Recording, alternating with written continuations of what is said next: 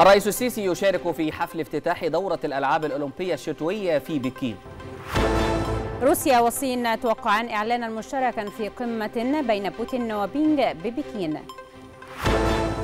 إسبانيا تنهي إلزامية ارتداء الكمامات بالأماكن المفتوحة بداية من الأسبوع القادم. السادسة مساء في القاهرة الرابعة بتوقيت جرينتش نشرة إخبارية مفصلة تأتيكم من التلفزيون المصري. أهلا بكم.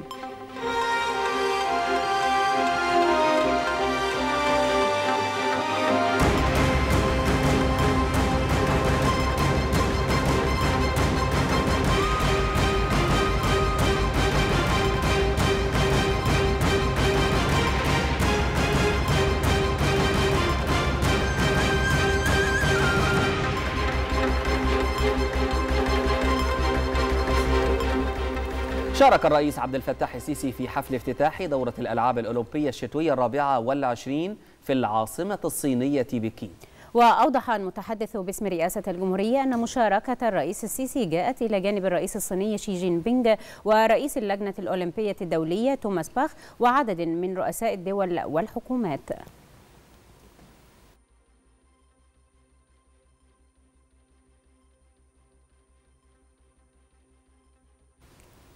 كان الرئيس عبد الفتاح السيسي قد وصل إلى العاصمة الصينية بكين لحضور حفل افتتاح دورة الألعاب الأولمبية الشتوية. وتأتي مشاركة الرئيس السيسي في هذا الحدث الرياضي العالمي الضخم تلبية لدعوة الرئيس الصيني شي جي بينغ وذلك في ضوء العلاقات الوثيقة والاستراتيجية التي تربط مصر والصين.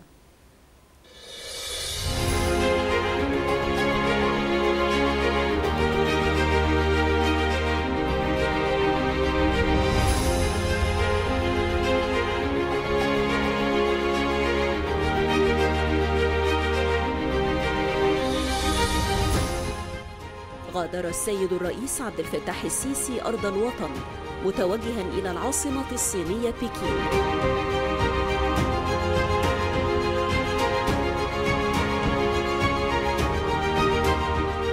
للمشاركة في حفل افتتاح الألعاب الأولمبية الشتوية في بكين تلبية لدعوة الرئيس الصيني شي جين بينغ مع عدد كبير من زعماء العالم.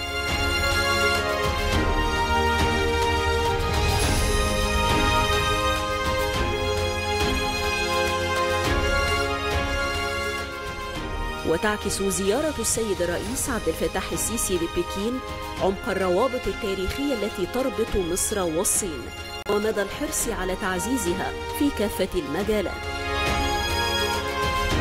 حيث تشهد العلاقات المصرية الصينية تطورا ملحوظا على كافة الأصعدة سواء الاقتصادية والسياسية والثقافية وكذا الرياضية.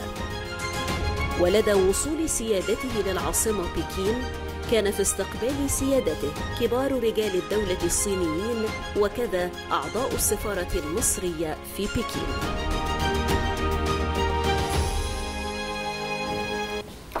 منذ تولي الرئيس عبد الفتاح السيسي مقاليد الحكم في البلاد وتشهد العلاقات المصرية الصينية وخاصة مع الدول الكبرى تطورات إيجابية على مختلف الأصعدة. وتعد الصين من بين أهم القوى الكبرى التي تربط بين مصر أو تربط مصر بعلاقات وثيقة معها امتدت إلى مجالات مختلفة بدعم كبير من قيادتي البلدين حقبة جديدة ومتميزة من العلاقات الثنائية تشهدها مصر والصين، خاصة في ضوء ما شهدته هذه العلاقات من تطور ودعم بتوجيهات من الرئيس السيسي. تطورات إيجابية في العلاقات وصلت لتأسيس منتدى التعاون الصيني العربي الذي واصل مسيرته في تعزيز وتعميق التعاون والتبادلات بين الصين ومصر والعالم العربي. الزيارات المتبادلة بين بكين والقاهرة تعددت على جميع المستويات، ففي عام 2014 قام الرئيس السيسي بزيارة إلى الصين تكللت بالنجاح في تطوير العلاقات لتصل إلى مستوى الشراكة الاستراتيجية الشاملة، وتجلى اهتمام القيادة السياسية في الدولتين بتطوير العلاقات الثنائية خلال السنوات الماضية حيث حرص الرئيس الصيني على دعوة الرئيس السيسي لحضور القمم الدولية التي استضافتها الصين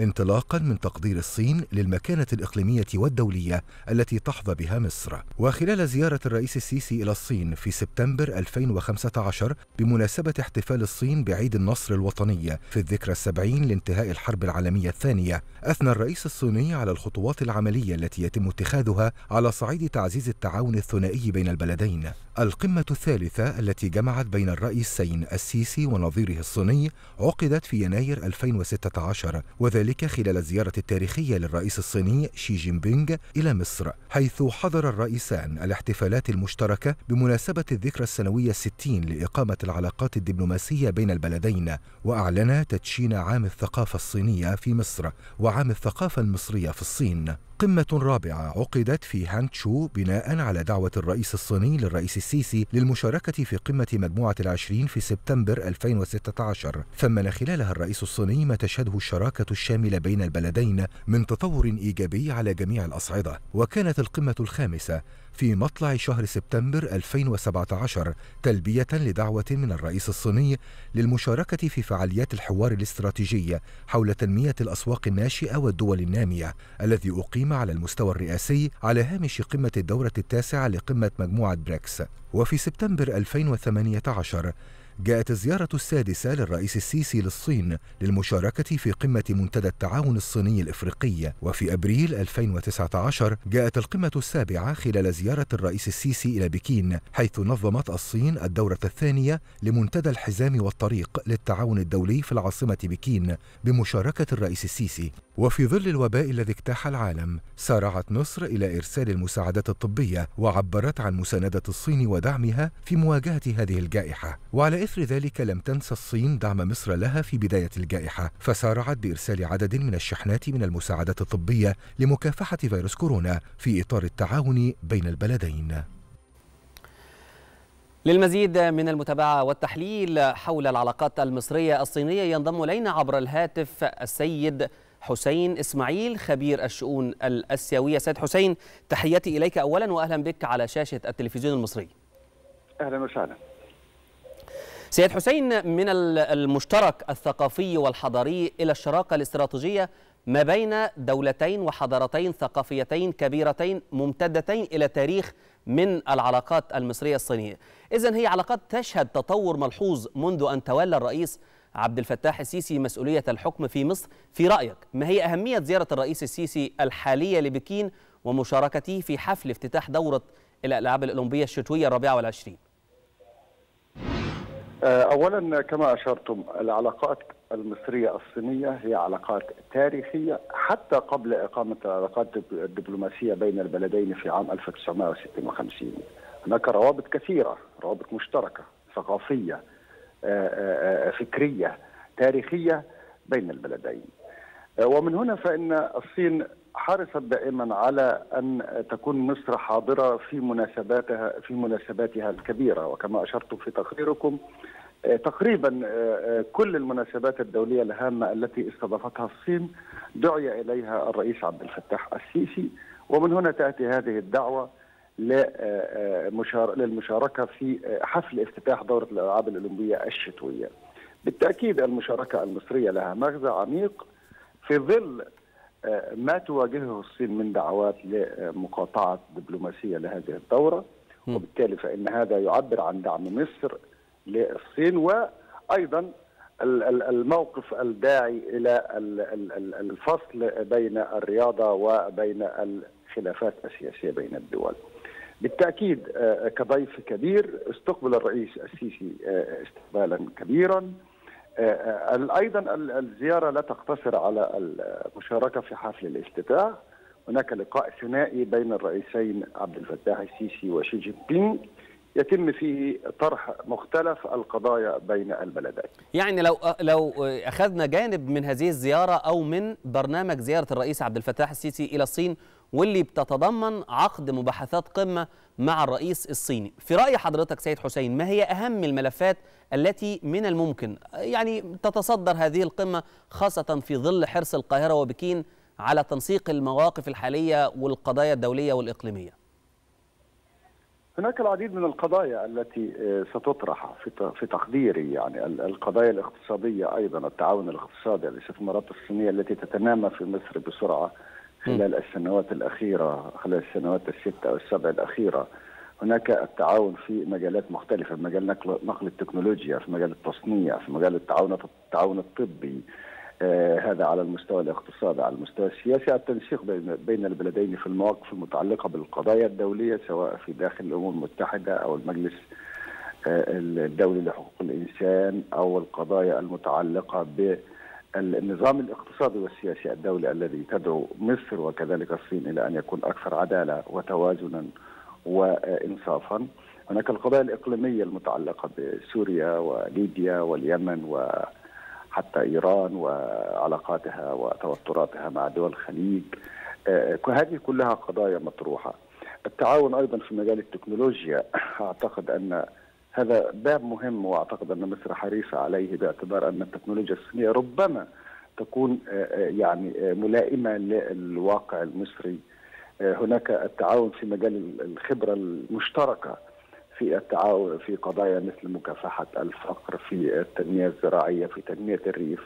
خاصة أن الصين حاليا تتبنى مشروعا يكاد يكون يعني متطابقا مع مشروع النهضة الريفية في مصر وهو أيضا بنفس الاسم في الصين من خلال برامج ذات فترات زمنية محددة. هذه كلها مجالات للحديث والتعاون والبحث بين الزعيمين. نعم. هذا بالإضافة بالطبع سيد حسين إلى يعني تاريخية العلاقات وأهميتها على كل الأحوال. شكرا جزيلا لك ضيفي الكريم السيد حسين إسماعيل خبير الشؤون الأسيوية والباحث في العلاقات المصرية الأسيوية. شكرا جزيلا لك على هذا العرض.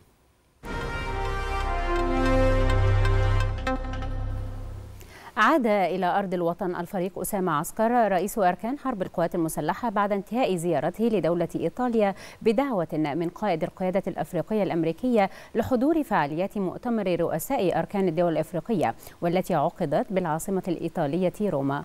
ناقش المؤتمر جهود مجابهة تهديدات المنظمات والجماعات التي تسعى لتقويض الأمن والحكم في قارة إفريقيا. من جانبه أكد رئيس أركان حرب القوات المسلحة أهمية تطوير مجالات التعاون العسكري بين القوات المسلحة لكافة دول القارة الإفريقية مشيرا إلى توافق الرؤى حول استراتيجية مشتركة لتحقيق مصالح دول القارة. وعلى هامش المؤتمر التقى الفريق أسامة عسكر بالفريق أول ستيفن تاونسند قائد القيادة الأفريقية الأمريكية حيث استعرض الجانبان عددا من الموضوعات ذات الاهتمام المشترك في ضوء تطورات الأوضاع في المنطقة والتحديات المطروحة على الساحتين الإقليمية والإفريقية.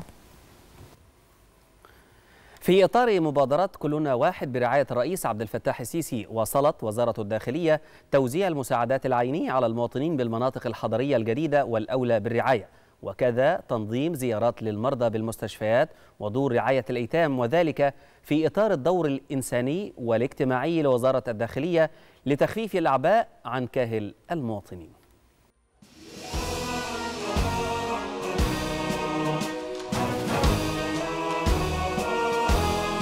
في إطار مبادرة كلنا واحد برعاية رئيس الجمهورية يتواصل الدور الإنساني والاجتماعي لوزارة الداخلية الذي تحرص من خلاله على تخفيف الأعباء عن المجتمع ومساندة ودعم كافة الفئات.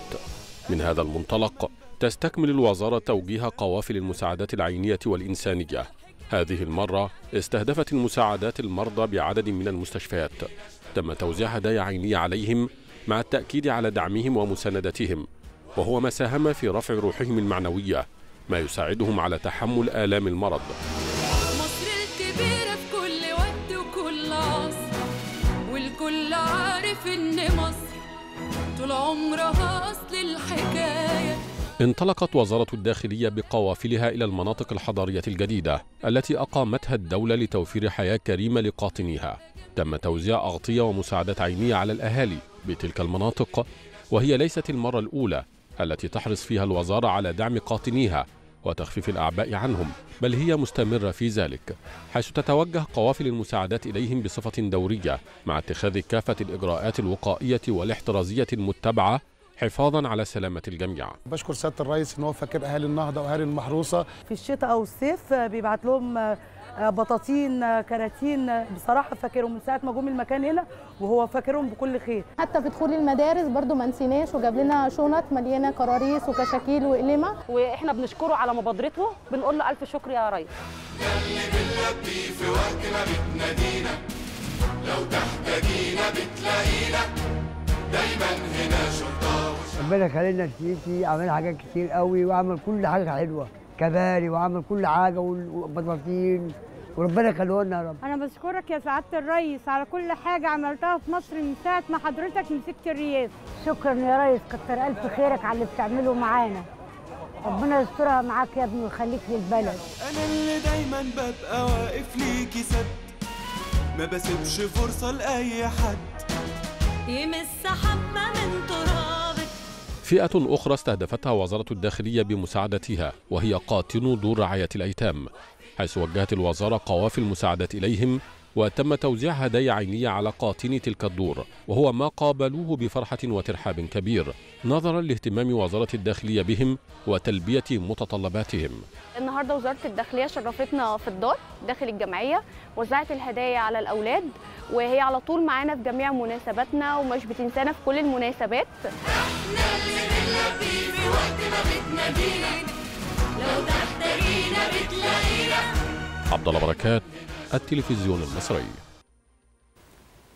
في إطار الاستعدادات لقمة الاتحاد الإفريقي المقرر انعقادها غدا وبعد غد شاركت مساعد وزير الخارجية مدير إدارة المنظمات والتجمعات الإفريقية السفيرة سهى جندي عبر الفيديو كونفرنس في اجتماع اللجنة الوزارية لمتابعة تنفيذ أجندة الاتحاد الإفريقي للتنمية 2063 واستعرضت السفيرة سهى الجندي خلال الاجتماع الجهود المصرية لتنفيذ أجندة الاتحاد الإفريقي 2063 مؤكدة حرص مصر على تضمين محاور الأجندة في رؤيتها الوطنية للتنمية 2030 وقد استعرضت السفيرة سهى جندي أيضا خلال الاجتماع رؤية مصر لتحقيق التنمية المستدامة وتحقيق أهداف 2063 بما يعزز من مكانة القارة الإفريقية ويحقق الرخاء لشعوبها.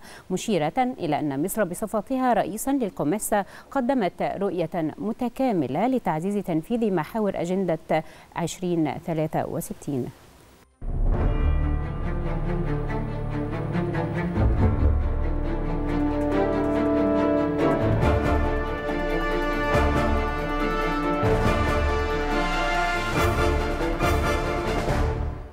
وقع رئيس روسيا والصين فلاديمير بوتين وشي جينغ بانغ على إعلان مشترك بين دولتيهما بخصوص دخول العلاقات الدولية لعهد جديد.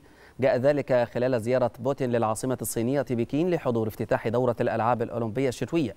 وبموجب هذه الوثيقة تعهدت روسيا والصين بالتصدي لتدخل أي قوى خارجية في شؤون دول ذات سيادة تحت أي ذريعة. محذرين من أن الأنشطة البيولوجية العسكرية الأمريكية تشكل خطرا على الدولتين крупных мероприятий. крепнет политическим и стратегическим взаимодоверием. Наш Уверен, что наши спортсмены выступят достойно. وصفت وزيرة الخارجية البريطانية ليز تروس بيان البنتاغون بشأن استعدادات روسيا لنشر مقطع فيديو مزيف بهدف إثارة الغضب ضد الحكومة في كييف وخلق ذريعة مسبقة لغزو أوكرانيا بأنه صادم. وكتبت في تغريدة عبر موقع تويتر للتواصل الاجتماعي أن المخابرات الأمريكية لديها دليل واضح وصادم على عدوان روسيا غير المبرر ونشاطها الخفي لزعزعة الاستقرار في أوكرانيا. وأكدت أن بريطانيا وحلفائها وحلفائها سيواصلون فضح الحيل والدعاية الروسية. يلتقي الرئيس الفرنسي إيمانويل ماكرون بنظيره الروسي فلاديمير بوتين يوم الاثنين القادم في موسكو. هذا وقد أوضح قصر الإليزيه أن ماكرون سيلتقي أيضا بالرئيس الأوكراني فلاديمير زيلنسكي يوم الثلاثاء القادم في كييف. في مسعى دبلوماسي جديد يبذله سعيا لخفض التوتر في الأزمة الأوكرانية. هذا وضعف ماكرون في الأيام الأخيرة من الاتصالات الهاتفية مع بوتين وزيلنسكي ومع الرئيس الأمريكي جو بايدن سعيا للتوسط لحل والوصول في هذه الأزمة. يقوم المستشار الألماني أولاف شولتز بزيارة إلى روسيا في الخامس عشر من الشهر الجاري لإجراء محادثات مع الرئيس الروسي فلاديمير بوتين وذلك حسبما أعلن الكرملين فيما يتصاعد التوتر بين موسكو ودول الغرب بشأن أوكرانيا وقال المتحدث باسم الكرملين ديمتري بيسكوف إن الزعيمين بوتين وشولتز سيعقدان محادثات ثنائية جوهرية.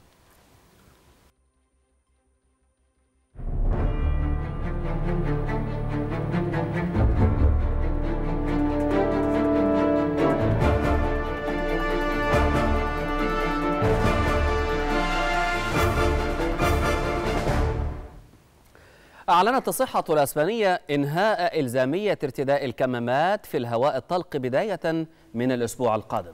وأوضحت الوزارة أن قرارها يأتي بعد تباطؤ مستويات العدوى بأوميكرون ومن المتوقع اعتماد التغيرات اعتبارا من الخميس الموافق العاشر من فبراير الجاري. هذا وسيظل ارتداء الأقنعة إلزاميا في الأماكن العامة الداخلية. بما في ذلك وسائل النقل العام وفي الأماكن الخارجية عندما لا يتمكن المواطنون من الاحتفاظ بمسافة آمنة تبلغ متر ونصف المتر بينهما.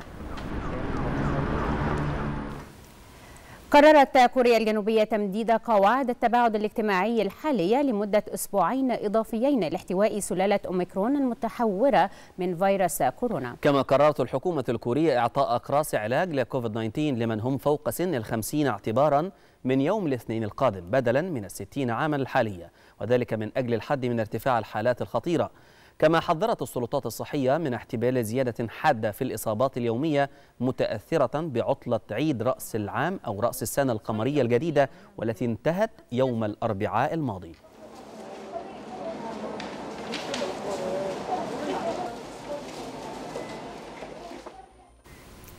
خسر رئيس الوزراء البريطاني بوريس جونسون أربعة من مساعديه في أعقاب فضيحة الحفلات التي أقيمت خلال مرحلة الإغلاق المتعلق بفيروس كورونا في مقر الحكومة.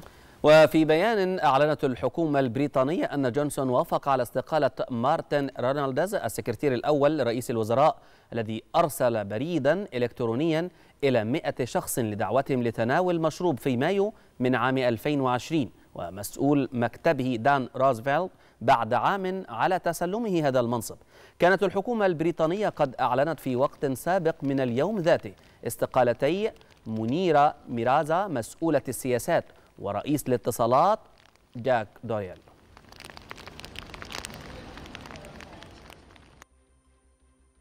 أعلنت شركة جنوب أفريقيا للتكنولوجيا الحيوية أنها توصلت إلى أول لقاح بتقنية آر إن مضاد لفيروس كورونا وذلك بالاستناد إلى لقاح شركة موديرنا على أن يكون جاهز للتجارب السريرية في شهر نوفمبر القادم. هذا وتدير الشركة الجنوب أفريقية ومقرها في كيب تاون هذا المشروع الذي يلقى دعما من منظمة الصحة العالمية وآلية كوفاكس للقاحات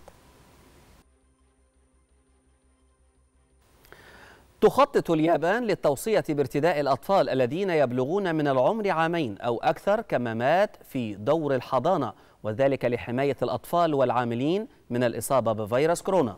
وقال وزير الصحة الياباني أنه من مع استمرار انتشار السريع لسلالة أوميكرون في اليابان فمن الضروري الدفع بهذه التوصية الجديدة للأطفال إلى الأمام. يشار إلى أن إرشادات مكافحة الفيروس الصادرة عن وزارة الصحة اليابانية بشأن دور الحضانة حتى الآن لا تتطلب من الأطفال ارتداء الكمامات في مرافق الرعاية النهارية. كما تسمح المسودة باستثناء ذلك إذ أنه لا يمكن لا يوجد داعي لإجبار الأطفال على ارتداء الكمامات عندما يشعرون بالتعب أو يواجهون صعوبات في ارتدائها باستمرار.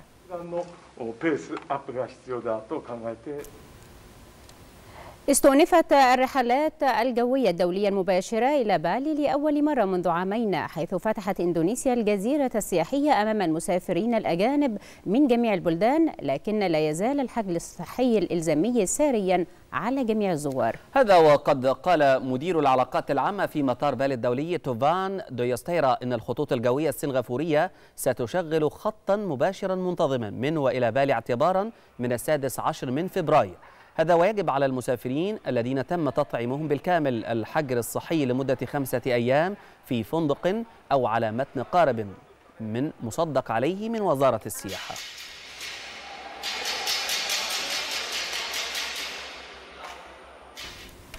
أعلنت وزارة الصحة الفلبينية عزمها البدء في تطعيم الأطفال الذين تتراوح أعمارهم بين 5 و11 عاما ضد فيروس كورونا في الرابع عشر من فبراير الجاري. ذكرت وسائل إعلام أنه من المقرر أن تصل 780 ألف جرعة من لقاحات فايزر في وقت لاحق بعد إخفاق الشريك اللوجستي في تحميل الشحنة بالأمس وذلك تمهيدا لبدء حملة تطعيم الأطفال.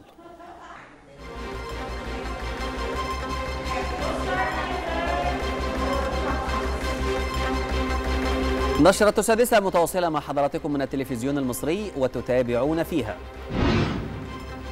عاصفة ثلجية تقطع الكهرباء عن 350 ألف منزل في تكساس وأوهايو.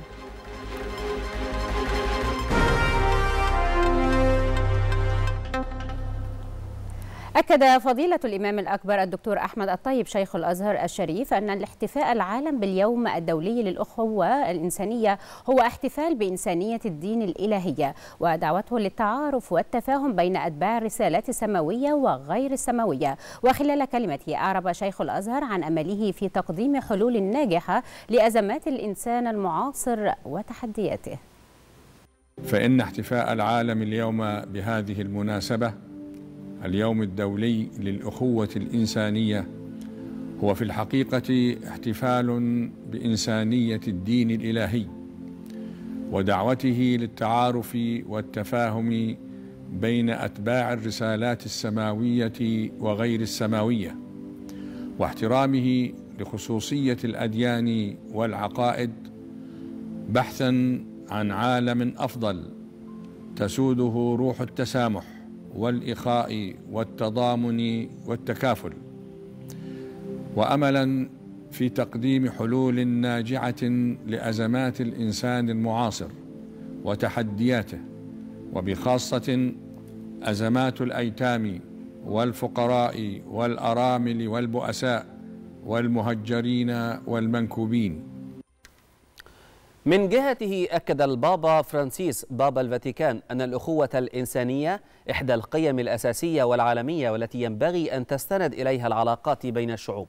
وخلال كلمته بمناسبة الاحتفال باليوم العالمي للأخوة الإنسانية أضاف البابا فرانسيس أن جميع الشعوب تعيش تحت قبة السماء الواحدة موضحا أن طريق الأخوة طريق طويل وصعب لكنه قارب النجاة للإنسانية جمعاء. Auguro agli organizzatori il miglior successo e agli atleti di dare il meglio di sé. تواصل السلطات المغربية عملية إنقاذ الطفل ريان الذي سقط في بئر بعمق 32 مترا منذ يوم الثلاثاء الماضي وبالتوازي تواصل خلية أزمة مغربية تعمل على مدار الساعة متابعة حالة الطفل مؤكدة أنه ما زال على قيد الحياة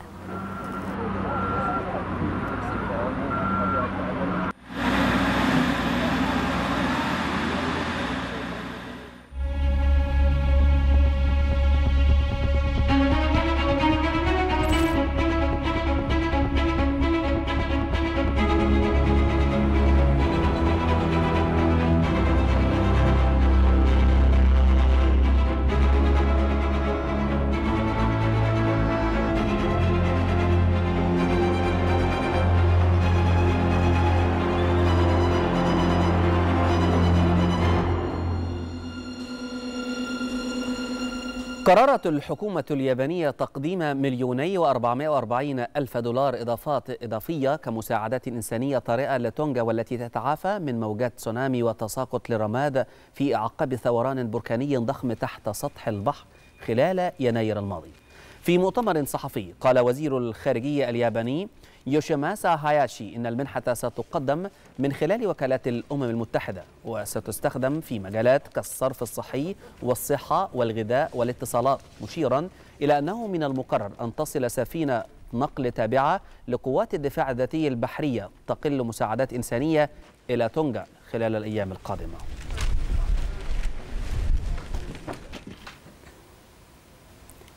ذكر خبراء الأرصاد الجوية في الولايات المتحدة أن العاصفة الشتوية الكبرى التي قطعت, قطعت الكهرباء عن حوالي 350 ألف منزل والشركة من تكساس إلى وادي أوهايو من المقرر أن تغادر بنسلفانيا ونيو إنجلاند وهما تواجهان طقسا متجمدا وتختنقان بالثلوج. وقال عالم الأرصاد الجوية لخدمة الطقس الوطنية في كوليدج بارك بولاية ميريلاند ريك أوتو قال إنه من المتوقع أن يتراكم ما يعادل يعادل قدما من الجليد في شمال نيويورك وشمال نيو إنجلاند مشيرا إلى أنه يمكن أن يهدد بإحداث فوضى في السفر والخدمات الكهربائية في الشمال الشرقي قبل أن تتجه العاصفة إلى البحر في وقت متأخر من الجمعة والسبت.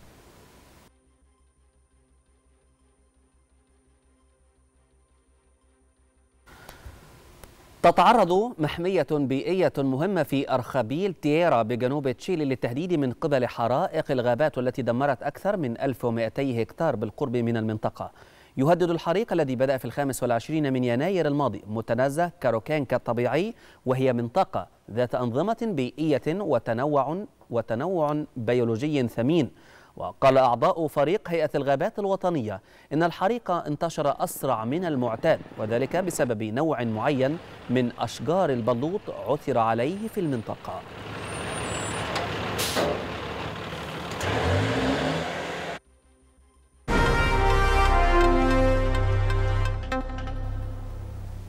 استعرض رئيس مجلس الوزراء مصطفى مدبولي جهود تلقي ورصد واستجابة الجهات الحكومية لشكاوى المواطنين المسجلة على منظومة الشكاوى الحكومية الموحدة بمجلس الوزراء خلال شهر يناير الماضي. وأكد رئيس الوزراء استمرار سعي الحكومة للتواصل الفاعل مع المواطنين عبر عدة قنوات على رأسها منظومة الشكاوى الحكومية الموحدة.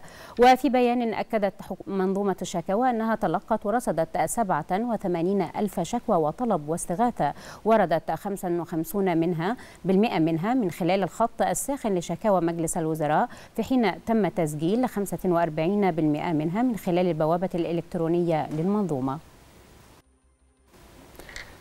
نفى المركز الإعلامي لمجلس الوزراء ما تردد حول إخلاء المدينة الجامعية التابعة لجامعة القاهرة تمهيدا لإصدار قرار بإلغاء الفصل الدراسي الثاني بكافة الجامعات على مستوى الجمهورية.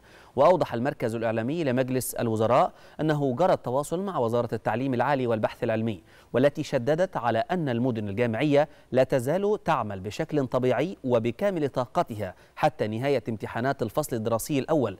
وسيتم عودة الطلاب للمدن بعد إجازة منتصف العام الدراسي. أكد وزير التنمية المحلية محمود شعراوي عدم زيادة تعريفة الركوب لسيارات النقل الجماعي والسيرفيس بجميع محافظات الجمهورية وذلك بعد تعديل أسعار البنزين وزيادتها 25 قرشا فقط دون المساس بأسعار السولار. هذا ووجه وزير التنمية المحلية المحافظين بالتنسيق مع مديريات الأمن وإدارات المرور والمواقف والسيرفيس لتكثيف الحملات المشتركة على المواقف والساحات والتعامل بحسم مع أي مخالفة أو محاولة محاولة لسائق السيرفيس والنقل الجماعي مخالفة تعريفة الركوب المقررة سابقا وكذلك اتخاذ الإجراءات القانونية تجاه المخالفين لضمان عدم استغلال المواطنين. كما طالب شعراوي المحافظات بالإعلان عن أرقام التواصل الفوري لغرف عمليات المحافظة والخط الساخن لتسهيل على المواطنين في التواصل الفوري في حالة وجود أي مشكلات تواجههم. في هذا الإطار أكد محافظ القاهرة خالد عبد العال انتظام سير العمل داخل جميع المواقف في نطاق محافظة القاهرة واستمرار العمل بتعريفة الركاب الحالية لسيارات النقل الجماعي والسيرفيز وعدم وجود أي زيادة بها وذلك لعدم وجود أي زيادة في أسعار السولار. كما وجه محافظ القاهرة خالد عبد العال كافة الأجهزة المعنية بالمحافظة. بتكثيف حملات الرقابة وتشكيل حملات مشتركة من الإدارة العامة لمرور القاهرة ومديرية التموين وإدارة المواقف واتخاذ كافة الإجراءات القانونية ضد السائقين المخالفين وذلك لضمان عدم استغلال المواطنين برفع قيمة تعريفة الركاب.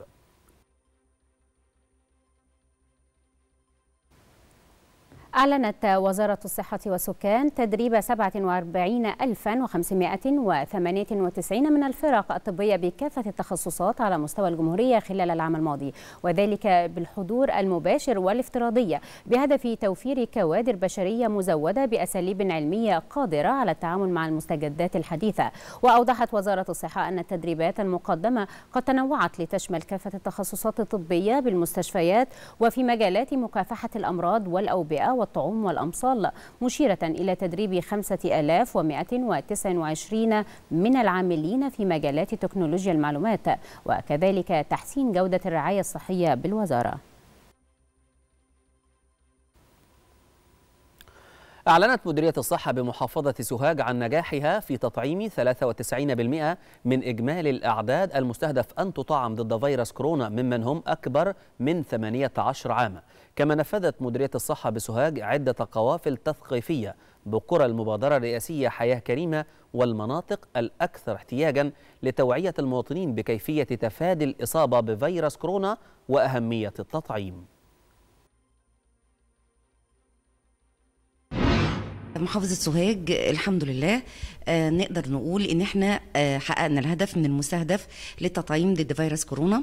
آه وصلنا لعدد 93% من المستهدف العام والمطلوب تحقيقه على بمحافظة سوهاج لسن أكتر من 18 سنة.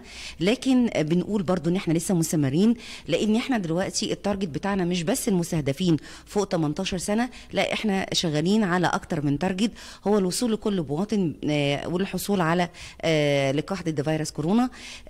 فوق 18 سنة أو أقل من 18 سنة. شغالين برضو في التثقيف التثقيف الصحي والتوعية وزيادة التوعية لجميع المواطنين. بنعمل زي قوافل توعية للقرى والنجوع. ليها تأثير فعال على الأرض. قدرنا نوصل لجزء من المجتمع كان في صعوبة للوصول إليه.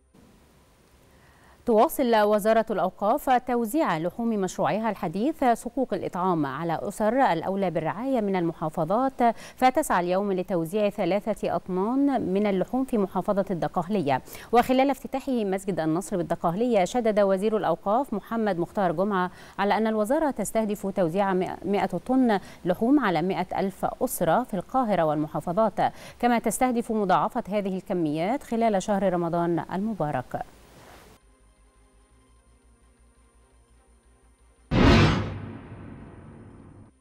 اليوم بيتم افتتاح سبعة مساجد هامة جدا ليصل إجمالي ما تم افتتاحه في محافظة الدقهلية وحدها 98 مسجدا. آه اليوم أيضا بالتزامن مع العيد القومي الدقهلية دي أول دفعة توزيع خارج القاهرة الكبرى في صكوك الإطعام. صكوك الإطعام بتستهدف الأسر الأولى بالرعاية وبدل أن كنا نتوجه إلى هذه الأسر مرة واحدة في العام بمناسبة صكوك الأضاحي بعيد الأضحى رتبنا مع السيد المحافظ والأجهزة المعنية ووزارة التضامن وكيل وزارة التضامن بالدقالية قوائم ثابتة حقيقية منقاة من الأسر الأولى بالرعاية ليصل إليها صك الإطعام شهريا. تستمر فعاليات معرض القاهرة الدولي للكتاب في دورته الثالثة والخمسين ويتضمن المعرض عددا من الفعاليات والندوات الفنية والثقافية. للمزيد ينضم إلينا مراسل التلفزيون المصري أحمد الحسيني. بالفعل يعني نحو ساعتين تفصلنا عن نهاية فعاليات اليوم التاسع من معرض القاهرة الدولي للكتاب. اليوم الجمعة شهد إقبالا كبيرا جدا من قبل المواطنين وما زال الأعداد تتوافد حتى هذه اللحظة التي أتحدث فيها إليكم. نحن نتحدث عن مواطنين من مختلف محافظات الجمهورية. تحدثت مع مواطنين من الإسكندرية من كفر الشيخ من الزقازيق أو الشرقية والذين أعربوا عن إعجابهم وامتنانهم الشديد بالتنظيم الكبير لفعاليات معرض القاهرة الدولي للكتاب. في دورته الثالثة والخمسين وهذا يدل أيضا على تجسيد للوعي الثقافي والفكري الذي سائد بين المواطنين والإقبال الكبير الذين يرغبون في اقتناء الكتب والاستفادة من الخصومات الكبيرة التي تقدمها إدارة معرض القاهرة الدولي للكتاب على مدار أيامه. نحن نتحدث عن أيام قليلة تفصلنا عن نهاية معرض القاهرة الدولي للكتاب حيث أعلنت اللجنة المنظمة والقائمة على معرض القاهرة الدولي للكتاب أن يوم الاثنين القادم الموافق السابع من فبراير هو آخر أيام لفعاليات معرض القاهرة الدولي للكتاب. والأعداد أيضا تزايدت هذا بسبب انتهاء امتحانات نصف العام وبداية إجازة نصف العام حيث كان الكثير من الطلاب أيضا حريصون على إنهاء الامتحانات امتحانات نصف العام والقدوم إلى معرض الكتاب لاقتناء الكتب وقراءتها خلال إجازة نصف العام. بالتوازي مع الكتب والخصومات الكبيرة هناك أيضا ندوات ثقافية وفنية تقام بشكل يومي على مدار فعاليات المعرض.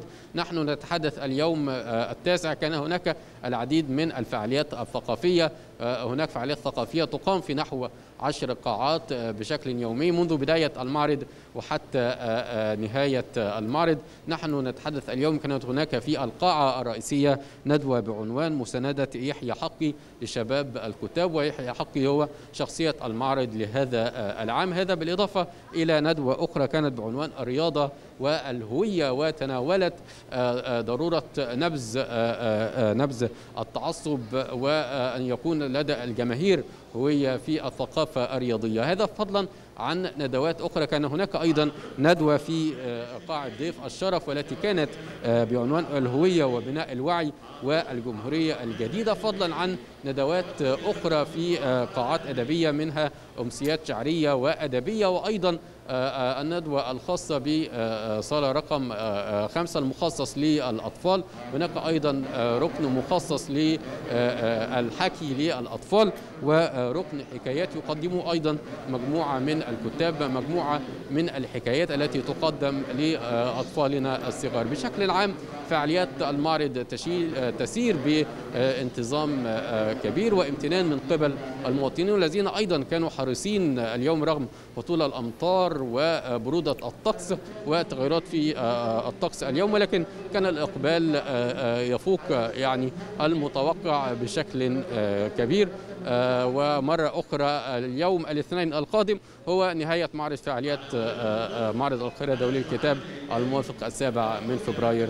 عليكم زملائي في الاستوديو. شكرا جزيلا زميلي مراسل التلفزيون المصري أحمد الحسيني على هذا العرض. شكرا جزيلا لك.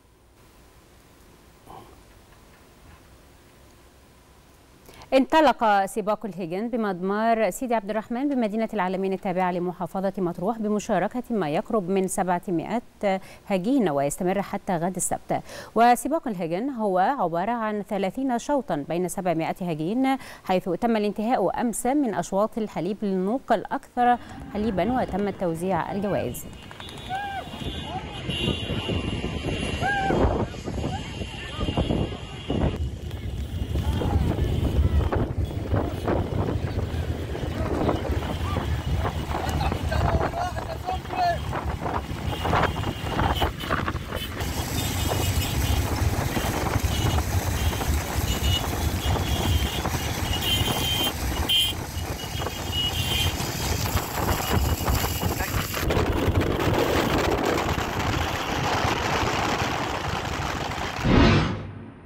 اللي بيحصل في مدينة العالمين هو انتقال كبير آه، في رياضة الهجل نحو العالمية.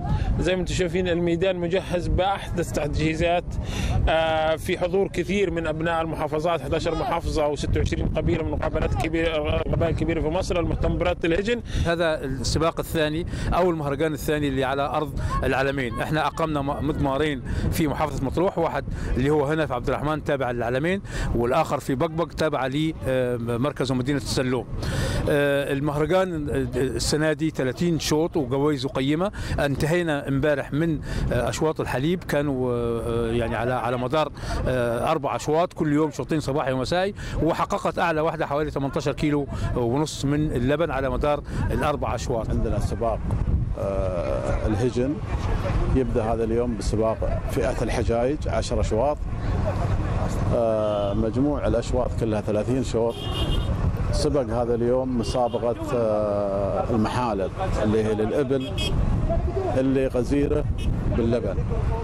وكانت المشاركة جيدة وحظوا على جوائز قيمة من المركز الأول إلى المركز العاشر. شدد محافظ الإسكندرية محمد الشريف على كافة الجهات التنفيذية ورؤساء الأحياء على أهمية وسرعة مواجهة تغيرات الطقس والتقلبات الجوية المستمرة وهطول الأمطار الغزيرة على كافة أنحاء المحافظة. كما أكد المحافظ محافظ الإسكندرية على سرعة تطهير وتنظيف كافة الشنايش وغرف التفتيش للصرف الصحي اولا بأول وذلك لسرعة تصريف مياه الأمطار وتخفيض مناسيب محطات الرفع وأعمال رفع الكفاءة مع استمرار عمل غرف طوارئ بالإسكندرية والخط الساخن 175 طوال اليوم وذلك لتلقي كافة شكاوى المواطنين بالأماكن السفلية والمنحدرة والمغمورة بمياه الأمطار والعمل كذلك على سرعة تصريفها.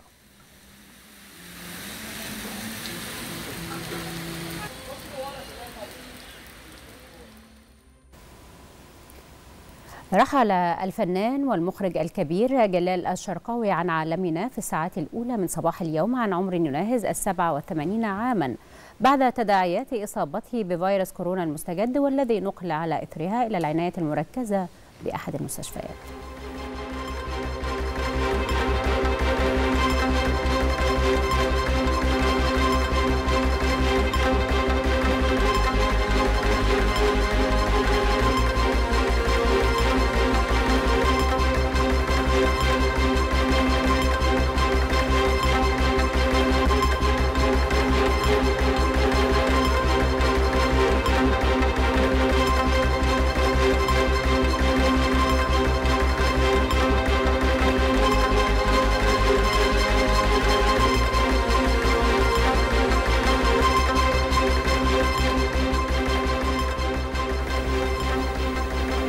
والآن مع أخبار المال والأعمال في نشرة السادسة. أخبار المال والأعمال يستعرضها لنا رجائي رمزي مساء الخير رجائي. سنور مصطفى أهلا بيك. أهلا بيك ميرفت مشاهدينا أخبار المال والأعمال. نتابعها وإياكم في هذه الوقفه الاقتصادية.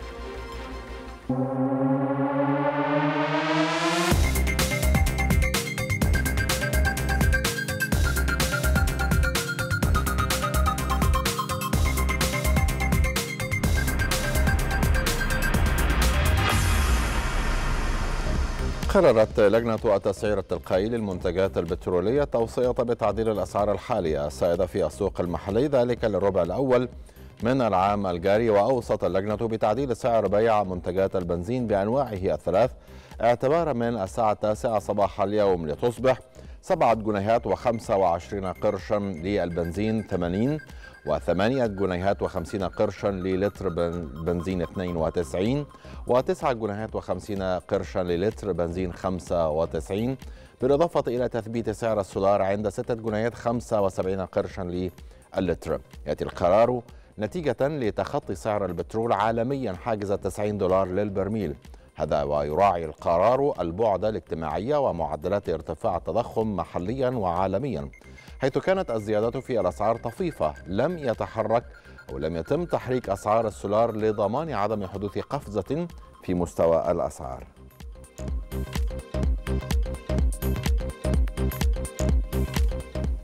استعرض وزير البترول طارق الملا والكهرباء محمد شاكر التطورات التي تشهدها أسواق الطاقة العالمية والاستراتيجية الخاصة بالتوسع في استخدام الطاقة الجديدة والمتجددة في ضوء هذه المتغيرات والاهتمام العالمي المتزايد لاستخدام طاقة نظيفة.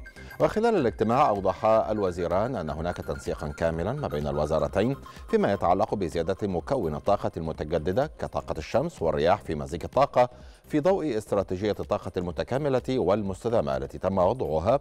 حتى العام 2035 التي تعتمد على عدة محاور من أهمها الاستخدام الأمثل لمصادر الطاقة المتاحة وتنويع مصادر إنتاج الطاقة الكهربائية.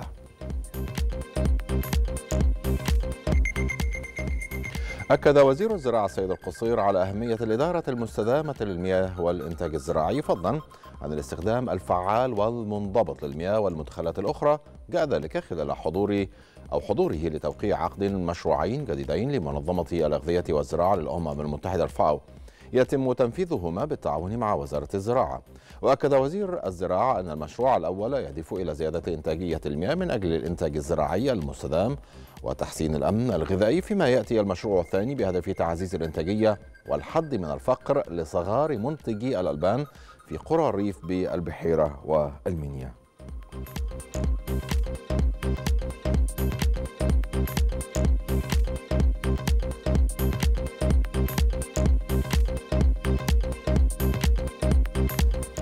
ونتحول بكم مشاهدينا لأسواق العملات حيث تباينت أسعار العملات أمام الجنيه المصري يسجل الدولار الأمريكي 15 جنيها 66 قرشا للشراء مقابل 15 جنيه 76 قرشا للبيع فيما يسجل اليورو 17 جنيها 68 قرشا للشراء مقابل 17 جنيها 79 قرشا للبيع في حين وصل الجنيه الاسترليني إلى 21 جنيه 31 قرشا للشراء مقابل 21 جنيه 45 قرشا للبيع فيما لا وصل به العملات العربية. الدرهم الإماراتي يسجل 4 جنيه 26 قرشا للشراء مقابل 4 جنيه 29 قرشا للبيع.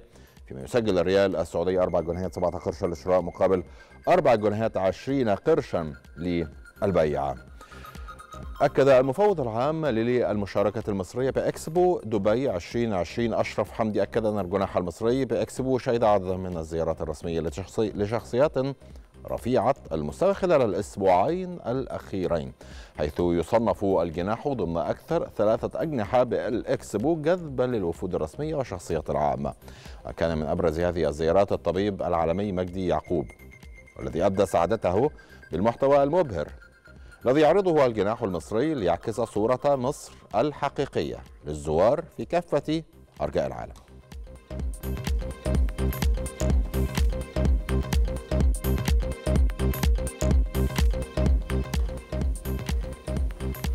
مشاهدينا بهذا نكون قد وصلنا لنهاية هذه الوقفة الاقتصادية. عودة إلى الزملاء مرة أخرى. مصطفى وميرفت إليكم. شكرا زميل رجاء رمزي على هذا الاستعراض. توجه الرئيس عبد الفتاح السيسي بخالص التهنئة لكل المصريين بعد صعود المنتخب الوطني لكرة القدم للمباراة النهائية لكأس الأمم الأفريقية. هذا وقد عبر الجمهور المصري عن فرحته بفوز المنتخب على الكاميرون بركلات الترجيح 3-1 والوصول لنهائي أمم إفريقيا في المباراة التي أقيمت بينهما في إطار نصف نهائي كأس أمم إفريقيا والمقام حاليا في الكاميرون. بخطوات ثابتة واثقة يواصل رجال المنتخب الوطني لكرة القدم زحفهم نحو تحقيق لقب كأس الأمم الأفريقية الغائب عن مصر منذ عام 2010 الفراعنة تأهلوا للدور النهائي من البطولة القارية بعد مباراة ماراثونية حافلة أمام المنتخب الكاميروني المستضيف وحسموها لصالحهم بركلات الترجيح بثلاثة أهداف مقابل هدف. جاء فوز المنتخب المصري بعد مباراة ماراثونية امتدت ل 120 دقيقة على ملعب أولمبي في العاصمة ياوندي بعد انتهاء الوقتين الأصلي والإضافي بالتعادل السلبي ليتم اللجوء إلى ركلات الترجيح التي ابتسمت في النهاية للاعبي المنتخب المصري. محمد أبو جبل حارس المنتخب الوطني كان كلمة السر في التتويج خلال تصدياته الرائعة في المباراة هم تألقه في ركلات الترجيح وتصديه لركلتين قادتا مصر للفوز على أصحاب الأرض والجمهور ليضرب المنتخب الوطني موعدا مع نظيره السنغالي الأحد المقبل في نهائي البطولة القارية. هو الصراحه الروح حلوة جدا ما بين المنتخب وبتاع وبين اللعيبة خصوصا ما بين الشناوي وأبو جبل. الروح جميلة جدا والأداء كان كويس جدا قدام فريق قوي زي الكاميرون أنا شايف إن المنتخب قدم بطولة كويسة الفترة اللي فاتت آه، كانت الناس قلقانة من من كروش ومن الأداء بتاع المنتخب بس هو قدر يثبت إن هو مدرب كويس. وإن شاء الله نقدر نعدي ماتش السنغال ونعدي ماتشين بتوع تصفيات كأس العالم. إن شاء الله يعني الماتش امبارح كان حلو جدا يعني كانت الروح الرياضية عالية. أنا اتمنى طبعا في ماتش السنغال تبقى نفس الروح الرياضية. امبارح لما كسبنا نص النهائي كانت فرحة طبعا ما توصفش يعني باذن الله نفسنا بقى ناخد النهائي و... نفسي دايما يكون رأيتنا مرفوعة إن شاء الله لسابع سما وربنا ينصرنا كل حاجة. اللهم آمين يا رب. في كل المجالات وربنا يبارك لنا في محمد صلاح والمنتخب المصري كله. والله هو كان إحساس حلو والحمد لله الحكم جه علينا شوية بس الحمد لله قدرنا نكسب وقدرنا نعدي الكاميرون. فريق صعب وفريق كويس بس الحمد لله قدرنا نكسب. الحمد لله الماتش كان حلو جدا وبصراحة فرحنا. إن شاء الله بإذن الله هنكسب يوم الأحد وإن شاء الله هناخد البطولة بإذن الله. مفيش بهذا مشاهدينا الكرام نكون قد وصلنا مع حضراتكم لنهاية نشرة السادسة. لم يتبقى سوى التذكير بأهم العناوين. الرئيس السيسي يشارك في حفل افتتاح دورة الألعاب الأولمبية الشتوية في بكين.